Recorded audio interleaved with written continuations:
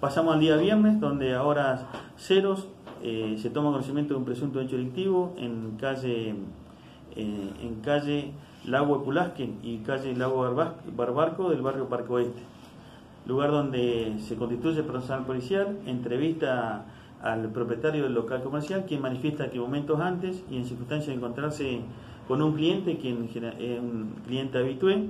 ingresa un masculino aparentemente con un arma de fuego, en, bajo los efectos de alcohol o estupefacientes, quien intenta sustraer la recaudación, donde estos, eh,